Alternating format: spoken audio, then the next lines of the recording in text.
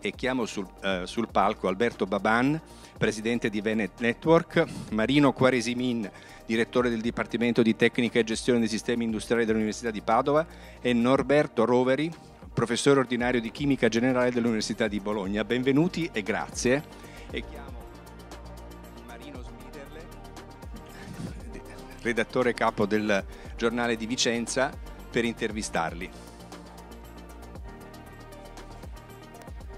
Grazie, eh, come giornale di Vicenza siamo, siamo contenti di avere questa opportunità di questa anteprima di Festival del Futuro e sono convinto che l'importanza dei relatori che abbiamo qui oggi vorrei, avrei l'ambizione che alla fine di questo incontro qualcuno dicesse che in realtà il futuro è, è, è, già qui, perché io penso ad alcuni film di fantascienza che vedevamo qualche anno fa dicendo wow, adesso invece ci sono delle applicazioni, delle innovazioni applicate che vengono trasformate in realtà e anche in progetti, come dire, economicamente eh, importanti.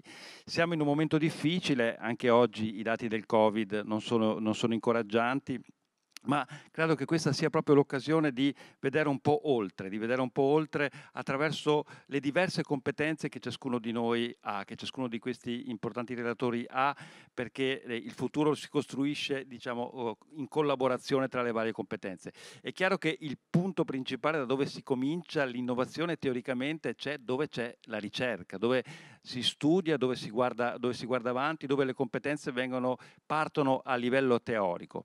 E io partirei partirei proprio da questo e dal professor Quaresimin, che è professore dell'Università di Padova, la sede qui eh, di Vicenza, e vorrei chiedere eh, a lui eh, quanto è aumentato negli anni il rapporto tra l'università e l'attività, l'attività industriale e l'attività imprenditoriale di Vicenza, ma non solo del Veneto in generale. Grazie. Eh, chiedo se gentilmente magari lanciano le, le, slide della presentazione che ho a supporto della, poche cose che voglio raccontarvi. Diciamo che negli ultimi anni eh, sicuramente l'attività di, di, collaborazione eh, università-impresa è aumentata e questo eh, si basa sulla necessità sicuramente di portare innovazione all'interno delle aziende e al fatto che nelle aziende comincia a esserci diciamo, una generazione di, di, di, responsabili, di manager e anche di, di ingegneri che di fatto portano quello che, che cerchiamo di raccontargli eh, nelle aule universitarie e che portiamo dai laboratori alle aule universitarie. Eh, velocemente, eh, io avevo preparato qualche slide, vediamo su questo, eccolo qua, due parole sul, sul, Dipartimento, non tanto per i numeri che sono facilmente individuabili, quanto per il fatto che eh, siamo uno dei dipartimenti di eccellenza individuati dal Ministero per qualità della ricerca e dell'attività dell svolta presso la sede abbiamo una dotazione di laboratori significativa, abbiamo il vantaggio di essere a Vicenza dal 99, quindi tempi molto recenti e quindi tutto quello che abbiamo è forzatamente eh, costruito e implementato dopo quella data. Abbiamo una capacità di autofinanziamento notevole e questo ci consente di arrivare ad avere un dato di, eh, scusate, eccolo qua, di essere un, di, appunto, di avere dei laboratori ad alto livello. Eh, siamo tra i dipartimenti dell'Ateneo che ha il maggiore livello di collaborazione con le imprese e un dato cui, del quale sono estremamente orgoglioso per il lavoro che fanno i miei colleghi è il fatto che, a parte il numero di contratti significativo che abbiamo in ambito industriale, abbiamo un tasso di ritorno di oltre il 50%, cioè le aziende che lavorano con noi tornano una volta su due, quindi questo sicuramente ci dà una grossa soddisfazione. Quello che volevo raccontarvi a supporto de, de, de, de, della domanda, diciamo, per rispondere a qualche misura alla domanda, era qualche, quali le modalità con cui è possibile collaborare, potenziare questo eh, intervento. Ma parlate dello stesso linguaggio tra università e impresa, linguaggio, perché molto spesso si, si dice, anche noi scriviamo, che si, gli imprenditori si lamentano, noi abbiamo delle esigenze, l'università uh, un, ne ha un altro. Io sostengo che negli ultimi anni in particolare questa, questa diciamo, distanza si è eh, ridotta anche per eh, reciproci interessi sia dal punto di vista imprenditoriale che dal punto di vista della ricerca. Può confermare che c'è stata questa riduzione della, de, della distanza? Ass assolutamente sì e confermo il fatto che è l'elemento critico, nel senso che dal punto di vista tecnico è abbastanza facile ragionare, nel senso mettere sul tavolo i problemi e il nostro lavoro è trovare soluzioni. Quello che conta è riuscire a comprendere i ruoli reciproci, come dicevo prima, e, e fare in modo che questo porti a una comprensione di cosa può fare l'università per l'azienda e cosa può fare l'azienda per l'università. Diciamo noi collaborando con le aziende abbiamo grandissimi stimoli in ottica di attività di ricerca ma anche di attività formativa e questo sicuramente potenzia il, risultato finale. C'è una comprensione, come dicevo, un aumento, come citava lei, di, di capacità di, di, comprensione reciproca e questa è una condizione fondamentale che avevo messo alla fine della mia discussione, della presentazione, ma infatti in realtà l'abbiamo toccato subito. I percorsi sono un altro strumento che aiuta molto in questo, in questo avvicinamento, nel senso che le possibilità di collaborazione tra il mondo diciamo, universitario di ricerca e le aziende può essere dipinto in vari livelli da un approccio diciamo, short term, quindi basato sulla disponibilità di attrezzature all'avanguardia che magari l'azienda X ha bisogno di utilizzare, alle collaborazioni che preferiamo noi, cioè quelle a medio e lungo termine, nelle quali si instaura una collaborazione che dura 4-5 anni e nei, durante i quali c'è il tempo per promuovere tutte e per, per, migliorare la comprensione e affrontare i problemi in maniera eh, spinta. Questo porta la chiave di lettura un punto, su un altro aspetto che è quello dei tempi Tipicamente le esigenze industriali sono ieri, non è mai domani, perché le cose devono essere chiuse il giorno prima. Ecco, questo è un settore nel quale noi abbiamo difficoltà a interagire perché? perché non è il nostro mestiere. Il nostro mestiere è quello di fare attività su tempi che abbiano il respiro necessario per fare ricerca vera. Presidente Babà, eh, vengo, vengo, a lei. Lei ha costituito dal 2011 questa, questa unione di, diciamo, di, imprenditori, anche questo per il Veneto è una sfida perché molto spesso conosciamo l'individualismo che è anche una dote per certi versi dei, dei, Veneti, però riuscire a mettere insieme 60 imprenditori e valutare progetti eh, imprenditoriali non è, non è semplice.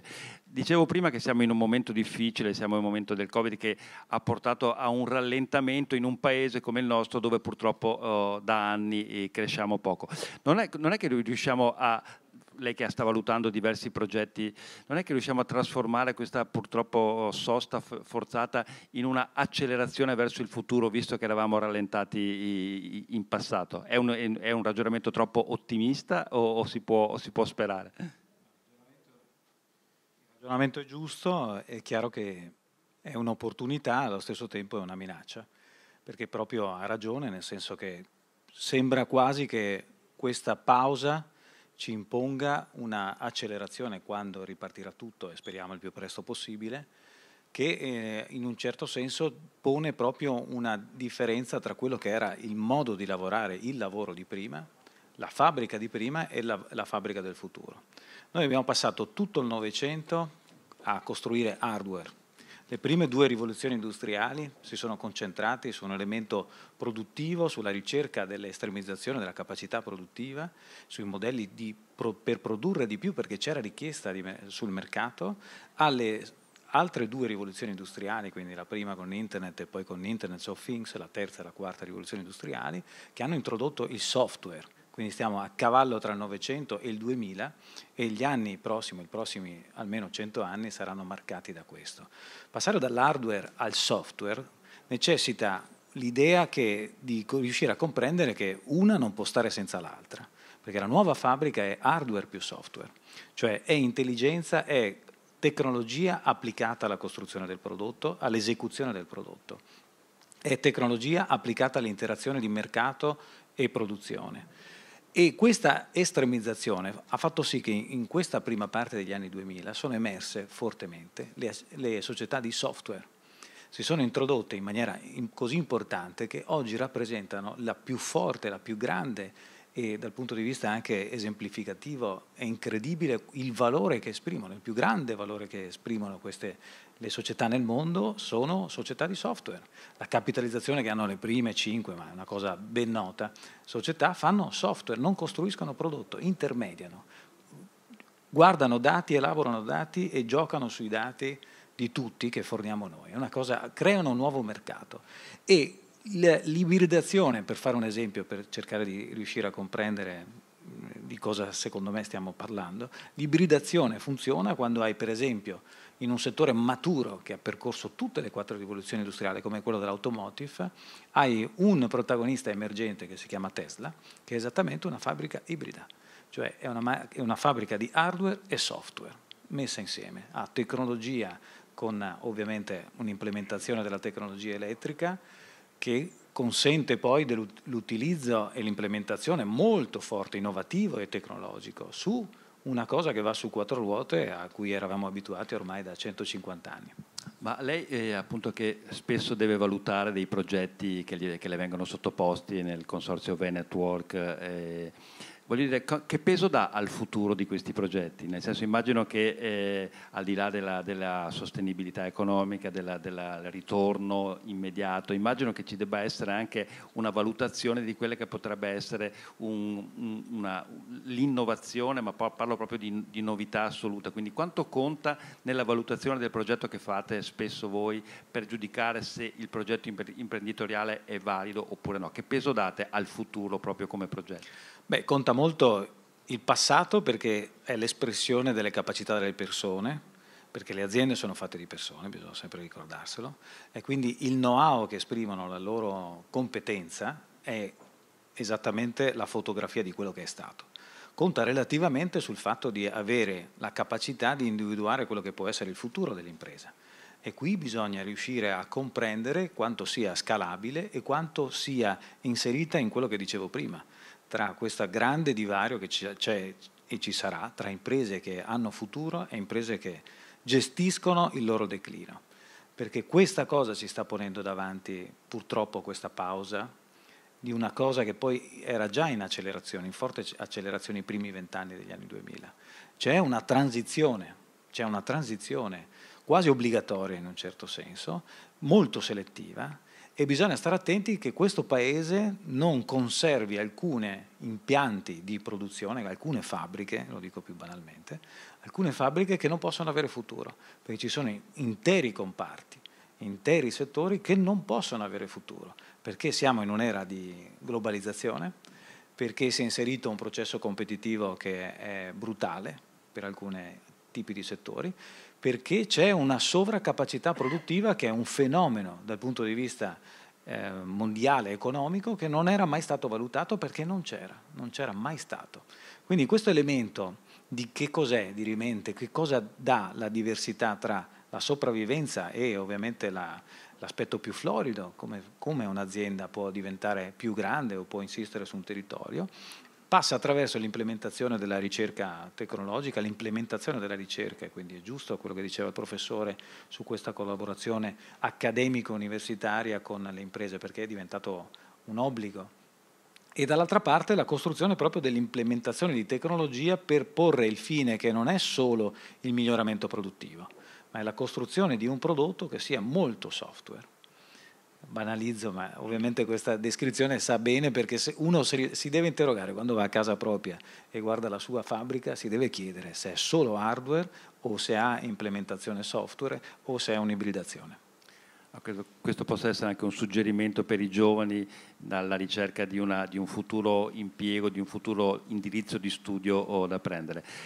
Vengo al professor Roveri che ha una storia, una storia particolare che unisce diciamo, quelle del, del presidente Baban col, del, e col professor Quaresimi, perché per 40 anni ha insegnato chimica all'Università di Bologna e, e, poi a un certo punto, anzi durante, eh, ha dire, unito sia l'attività di ricerca che l'attività imprenditoriale e in particolare sfruttando delle ricerche eh, importanti eh, sul campo.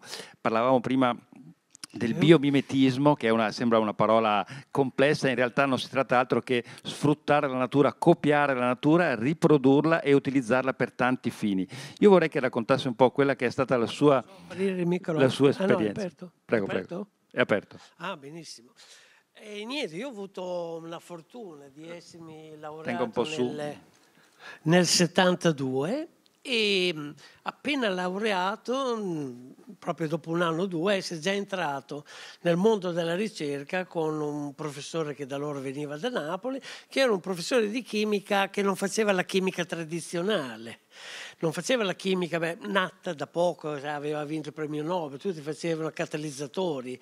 E no, lui si interessava delle cose biologiche, delle cose e, e, mi disse vai in Inghilterra nel 75 vicino a Londra che c'è un gruppo di giovani che apre un nuovo manifesto biomimetismo. Erano ingegneri chimici fisici geologi che hanno avevano aperto una filosofia di ricerca per fare innovazione, cioè mirata all'innovazione. E per questo poi dopo mi voglio agganciare a quello che ha detto lei. Non è che bisogna fare innovazione a tutti i costi, però c'è uno spirito per fare innovazione. Dice cos'è questo biomimetismo? Ebbe poca fortuna, furono scritti due o tre libri.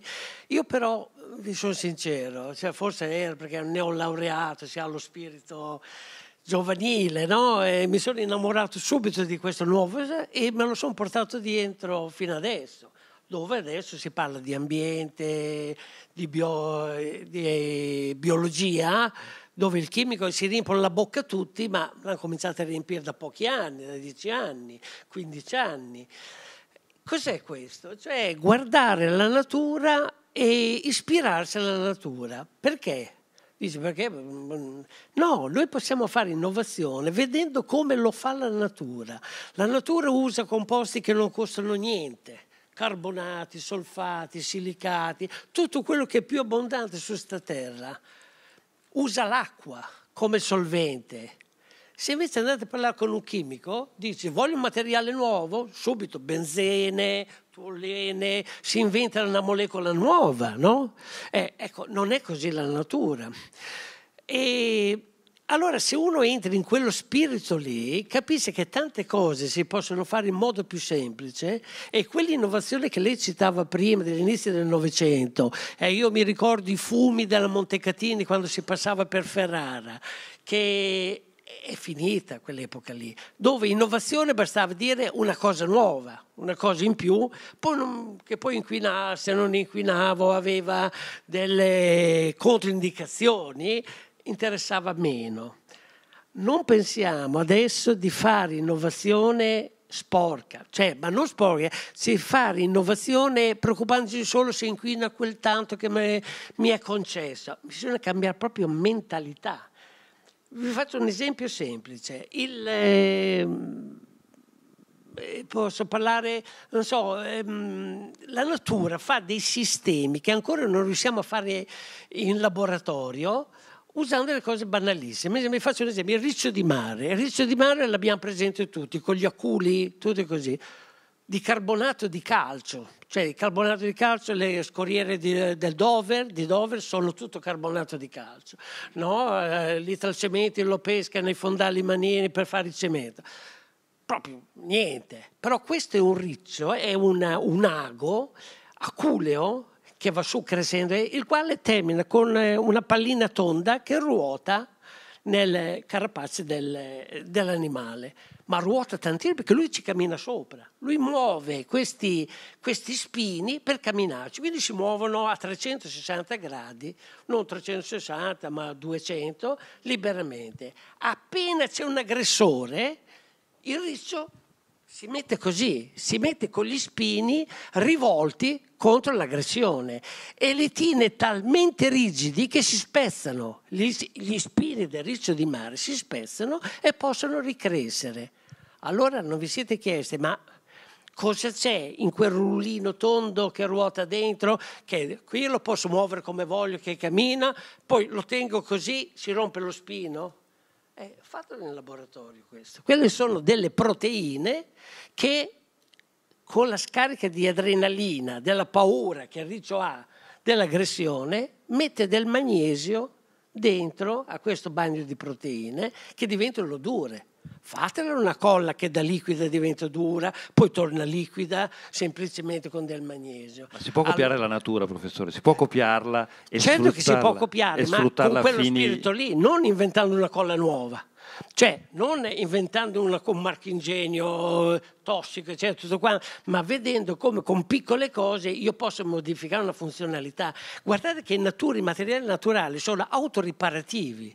A me viene in mente all'Ikea quel cassetto che si muoveva così, c'era una macchinetta, non so se l'avete visto voi, che faceva vedere come la cerniera resisteva 4 milioni 920 volte e c'era questo cassetto che andava sempre avanti e indietro e un contatore che diceva quante volte ma quello, quando è arrivato a 4, 4 milioni 900 non so cosa, si rompe ed è finito. In natura invece i materiali, durante l'affaticamento del materiale, la natura interviene con delle modifiche che sono autoriparative. Autoriparative ci sono ma perché? Perché usa una struttura di formazione, è lì che bisogna fare innovazione, non macroscopica, ma nano, nanodimensionale.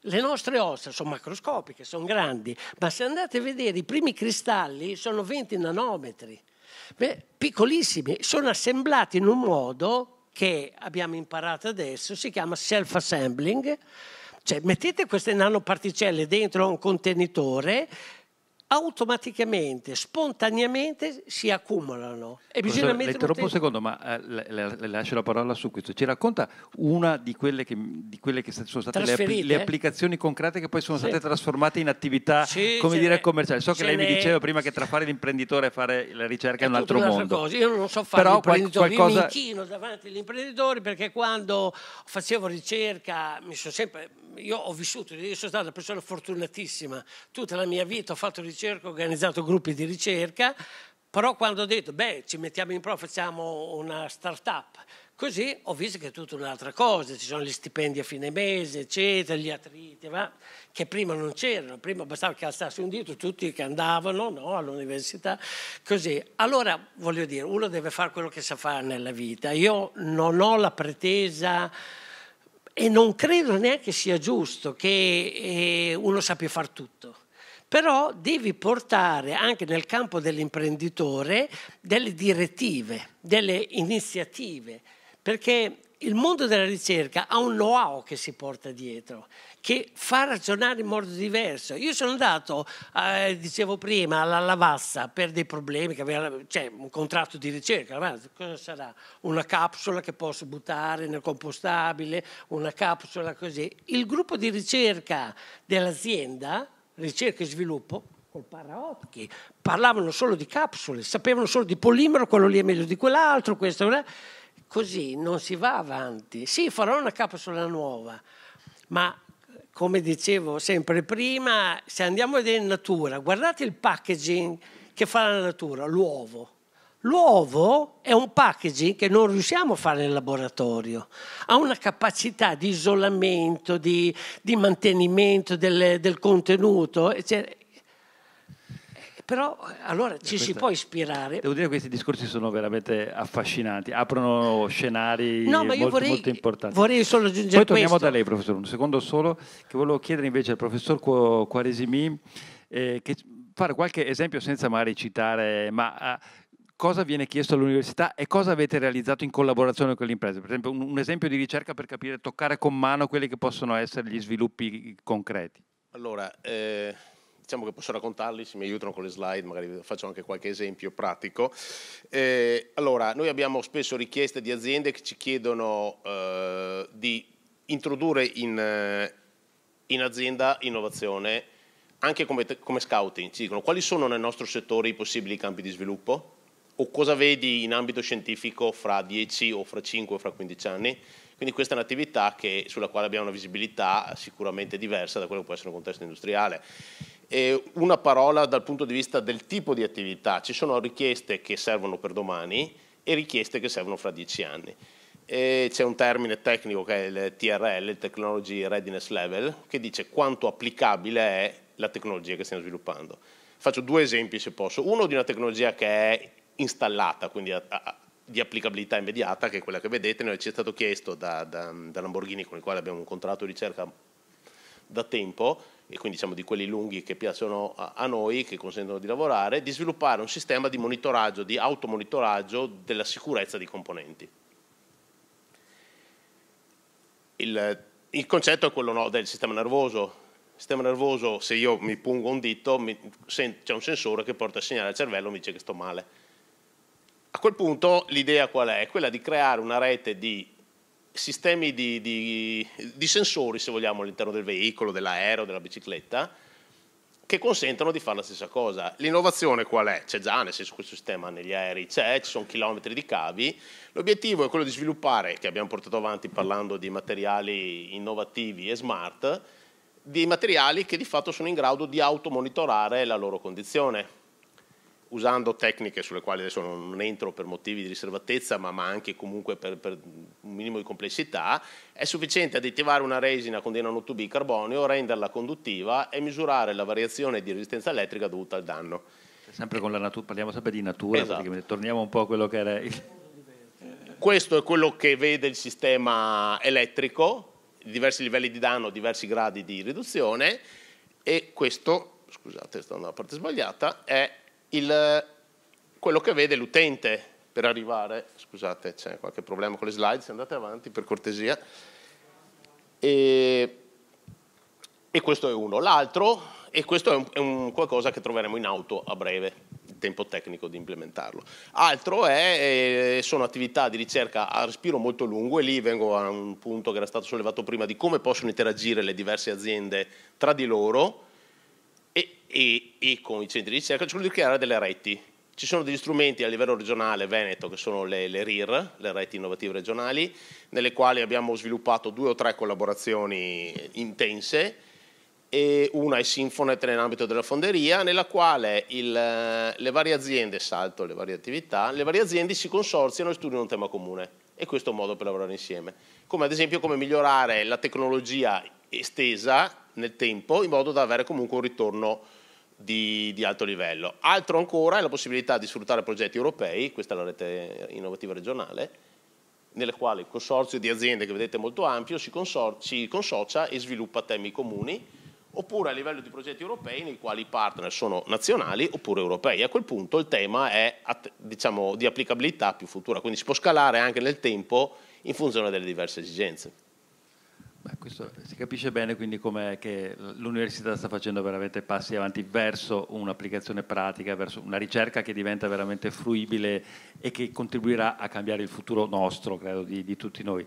Ma al Presidente Babà invece volevo chiedere, ma finanziare il futuro come si fa? Perché eh, i progetti sono tanti, le idee, le intelligenze magari riescono a partorire magari innovazioni incredibili, però poi ci vuole, ci vuole qualcuno che le finanzi. Veniamo, viviamo da anni di tassi di interesse negativo, parlo di, di, di, di finanza, quindi in un, teoricamente in un ambiente ideale per reperire i, i, i, finanziamenti, però devono avere, prima di ricevere i soldi, tra averli e, e, e non è facile. Insomma. Ecco, io volevo chiedere a lei che tutti i giorni appunto si occupa anche di finanziare le imprese che fanno parte del suo, del suo network.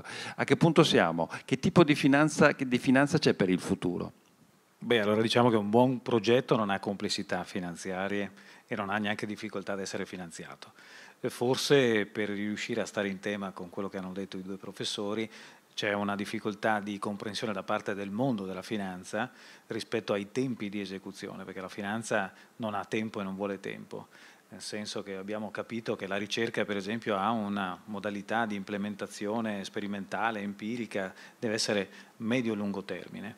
Oggi invece il mondo cambia a una velocità tale che questa cosa viene relativamente consentita, cioè la digerisce solo quando è alla fine. Quindi parliamo dal punto di vista del finanziamento di chi sostiene, e qui dovrebbe intervenire per forza ovviamente una politica più generalista, più statale, è giusto che le accademie, cioè è giusto che lo Stato investa in questa modalità educativa e di ricerca, perché l'innovazione è la ricerca applicata in sistemi produttivi, perché fa, la, la, la ricerca può anche fallire, la ricerca è tentativo, è una costruzione sperimentale, l'innovazione invece è un'implementazione che è molto disciplinata, è già la ricerca che ha una possibile applicazione, sono stati dati degli esempi eccellenti che vanno nella direzione giustissima e non, non non sono dire, contrari esattamente a quello che dicevo Negli Stati prima. Uniti penso al Nasdaq, ci sono sì. alti indici di fallimento, perché parliamo di Nasdaq come di un grande cosa, però in realtà dietro una che, che, che, che succede, che, riesce ce ne sono dieci che falliscono. Certo. E in, in, negli Stati Uniti il fallimento non è uno stigma, nel senso che poi dire, viene sempre data l'opportunità di ripartire, però c'è anche un, una maggiore dire, disponibilità a finanziare. Sì, però guardi, c'è, c'è un problema, io ho capito benissimo cosa intende, ma c'è un problema ha poco a che fare con l'innovazione, però c'è un problema di eh, modularità della finanza che è particolarmente preoccupante secondo me. Perché nel percorso che abbiamo citato prima, quindi partiamo dai primi Novecento perché parliamo dell'era moderna senza stare a parlare che ci sono qualche migliaio di anni per arrivare qui, però nell'era moderna questa parte finale, la finanza, si è introdotta con un metodo che sta usando molto il digital da questo punto di vista per autoalimentarsi e nella costruzione della modalità, che è un po' più di modello anglosassone da questo punto di vista, di scommettere per forza sul futuro, inventa dei prodotti che costruiscono delle valorizzazioni che sono completamente fuori rispetto a quello che sapevamo noi, cioè le fabbriche che producono prodotto, che hanno una solidità attraverso un'espressione bilancistica, ti dicono quanto valgono, nel mondo sappiamo che non, non, non c'è questa correlazione. Ci sono moltissime aziende, quello che ho citato prima, non valgono quello che guadagnano valgono nella possibile prospettiva quello che guadagneranno, sapendo che poi questa cosa potrebbe anche fallire. Ma noi siamo arrivati a un'estremizzazione dove una singola società vale il prodotto interno lordo di, siamo 196 stati, 198 nel mondo, di almeno dei primi, di più dei primi 190 stati. C'è una bolla citato. sopra di noi. Quindi... Cioè, c'è qualcosa che non funziona, ma è, è, va in questo tipo di direzione, perché è anche il pensiero di, eh, di questa pausa che potremmo anche prenderci dal punto di vista anche di filosofia, da un certo punto di, vista di come si interviene. Perché questa crescita del PIL ha una obbligatorietà di sostenibilità, noi non cresciamo per, e abbiamo un problema perché il nostro modello sociale non è sostenibile, non è che ci interessa crescere perché, per guadagnare di più, il problema è che mancano i servizi essenziali se non cresciamo, questo. manca il fatto di poter sperimentare, di investire su quella che è la cosa migliore, l'investimento migliore che possiamo fare che è la scuola. Quindi in questo tipo di logica avere un'estremizzazione da un'altra parte che ha un'espressione del valore che non è legato al reale è estremamente difficile da comprendere, secondo me anche pericoloso. Quindi per ritornare a quella logica eh, che è stata espressa nelle, nei due interventi molto interessanti, eh, secondo me sono estremamente innovativi perché sono tutti e due digital anche il biomimetismo è fortemente digital. Non è vero che ah, perché si esprime la natura non sia da questo punto di vista molto innovativo. Lo è e devo dire che il digital, per parlare di modernità da questo punto di vista, imita esattamente questo perché il digital twins fa questo.